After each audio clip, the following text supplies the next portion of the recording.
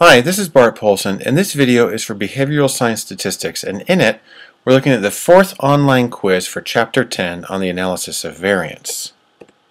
The first question on this quiz is, when calculating probability values for, uh, excuse me, for the analysis of variance, the correct distribution is the t distribution, the f distribution, the standard normal distribution, or the p distribution.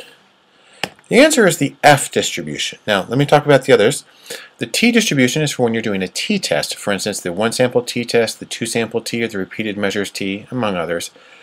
Um, that's not what we're using here. The standard normal distribution we use for the z-test, uh, but not here. And the p-distribution, there is no p-distribution that I'm aware of. Uh, you get p-values or probability values by looking at where a person falls within or a score falls within its test distribution, but that's there's I'm not aware of any such distribution on its own. Now the F distribution, technically speaking, is a family of distributions, and it depends on two separate degrees of freedom. The first one has to do with how many categories there are, and the second one has to do with how many people there are, also taking into consideration the number of categories. Um, it's a it's it's asymmetrical because it starts at zero and it goes up. It's based on variance. It only has positive values. And here are a few different versions of what the F distribution can look like depending on the combination of degrees of freedom. All right, number two, when is it appropriate to conduct post hoc tests? And A, whenever an ANOVA is statistically significant. B, whenever an ANOVA is not statistically significant. C, whenever eta squared is greater than 1. Or D, whenever the data are normally distributed. The answer is A, whenever the analysis of variance is statistically significant. The idea here is a post hoc test, which means after the fact, is designed to find where the significant differences are between the group means. So obviously you only want to do it if there are significant differences to look for, which is what you get from the F-test. By the way, uh, it, it is also common to refer to the F-test that you do first as the omnibus, or you know the overall F-test, and then the post hoc tests. Um, you wouldn't do it if they were not statistically significant because then there'd be really nothing to look for. Uh, whether eta squared is greater than 1. Now, eta squared is a measure of effect size. And the F-test and the post hoc are inferential tests. And those can be very different because there's a there's a major influence of sample size on the inferential test that's not there for the uh, the effect size. And then wh whenever the data are normally distributed, you know, that's that's just a whole other thing. Anyhow, here's the idea. We got uh, we've seen this one several times. We got four populations: north, south, east, and west. And you would probably get a statistically significant F-test out of this one if you had enough people. And then you would need to do the follow-up post hoc test to find out, for instance, that north was low, east was a little bit high, and the south and west were identical to each other. Number three, what effects are shown in this chart, the one on the right? And we have uh, choices of factor A being significant or not, B significant or not, and the A-B interaction significant or not. Well, this one, the answer is C. And the reason for that, let's make this a little bit bigger, is because there's no main effect for A or B. So A is given by the colors. That's factor A. And if you take the two blue bars and average them, you get 6.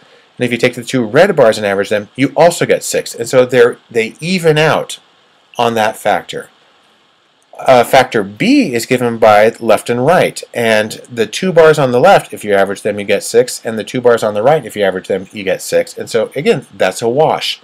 So there's no main effect for factor A or for factor B because they don't make differences by themselves. However, there's a huge difference when you look at the interaction because you can see, for instance, that it goes down for the first two and up for the second two. This is also called a crossover effect, and it's a very common thing in experimental research. But that is a statistically significant interaction of factors A and B without having any main effects for A and B, and it's actually not that uncommon. Number four, what effects are shown in this chart? And we've got the same choices of uh, main effects for A or B or a significant interaction. Well, in this case, what we have is a main effect for B, but no main effect for A and no interaction. Again, the reason for this is that you see, if you take the uh, factor A is given by the color of the bars. The two blue bars average out to 6, the two red bars average out to 6, and that's a wash. So there's no difference on factor A. The two bars on the left, which are the first category in factor 1, are have an average of 8, and the two uh, on the right have an average of 4. So there's a big difference uh, for the two categories or levels in factor B. On the other hand, you see that the there's no switch in the in the interaction. So this is just an interaction on factor B. Okay, our last one. Imagine a study that compared men and women, that's the gender factor, and I apologize for the typos in this question, who were socially liberal or conservative, that's the social attitudes factor, on levels of empathy.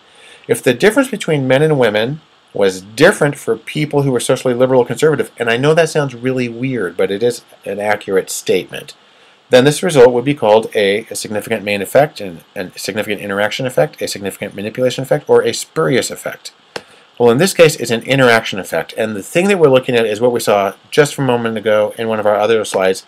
And this is where the difference between, for instance, the blue bar and the red bar is different depending on whether you're on the left or the right. So again, the difference between uh, groups is different for one factor and another. That's an interaction, and this is a crossover. This is one kind of interaction that comes up a lot. Anyhow, that's it for chapter 10. Hope that's helpful and good luck on the on the exam.